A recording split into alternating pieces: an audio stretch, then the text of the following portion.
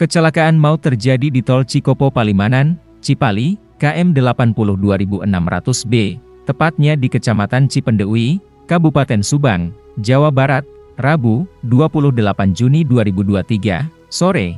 Kecelakaan itu melibatkan bus antar kota antar provinsi, akap, dan truk, Kanit 9 PJR Tol Cipali, Ibtu Dian Siswanto, menyebutkan, kecelakaan terjadi sekitar pukul 16 waktu Indonesia Barat, saat itu, bus Akapo Agramas rute Wonogiri Jakarta hendak menyalip truk yang berada di depannya, kendaraan bus Po Agramas dengan nomor polisi B7420 Kagiayang. Dikendarai oleh Tarno, 51, sedang melintas dari arah Palimanan ke Jakarta mengambil lajur lambat. Ketika di TKP diduga pengemudi tidak bisa antisipasi kendaraannya hingga akhirnya menabrak pembatas jalan.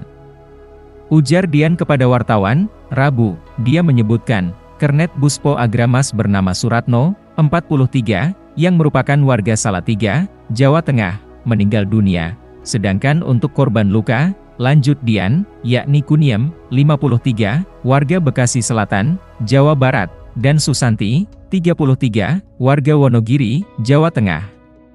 Berdasarkan kesaksian korban Susanti, kecelakaan bermula ketika busa menyalip truk tapi tidak mendapatkan jalan yang cukup. I jadi pas mau nyalip itu jalur sempit, jadi tabrak truk lalu pembatas. Jalan, ucap Susanti saat ditemui Tribun Jabar.idrs Abdul Rajak Purwakarta, dia menyebutkan kondisi sangat mencekam saat kejadian karena bus penuh dengan penumpang, kaget pas nabrak truk itu. Langsung pada teriak-teriak, ucapnya, kedua korban luka telah mendapatkan perawatan medis di RS Abdul Rajak Purwakarta. Sedangkan untuk korban tewas juga mendapatkan penanganan lebih lanjut dari pihak RS Abdul Rajak.